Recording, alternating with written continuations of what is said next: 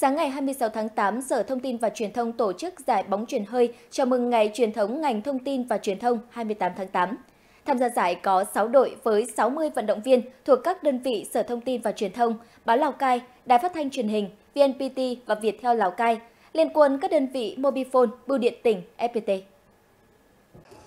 Sau 1 phần 2 ngày thi đấu sôi nổi đoàn kết với những trận bóng hay hấp dẫn, giải bóng truyền hơi chào mừng ngày truyền thống ngành thông tin và truyền thông đã thành công tốt đẹp.